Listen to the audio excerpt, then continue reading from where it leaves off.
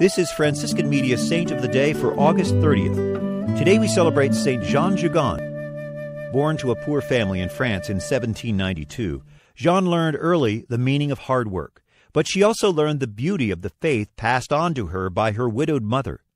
Later, as a kitchen maid, Jeanne often accompanied her mistress on visits to the sick and poor.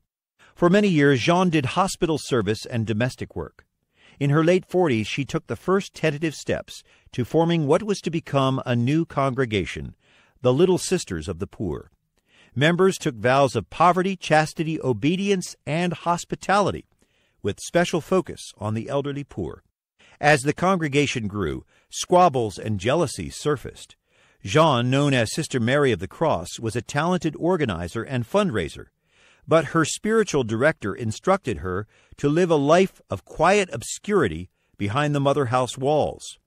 She dutifully obeyed, spending her last 27 years quietly supervising the manual work of the postulants.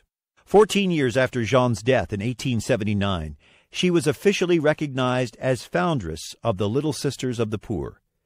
She was canonized by Pope Benedict XVI in 2009. There's more about the saints along with inspiration and Catholic resources at our website, saintoftheday.org.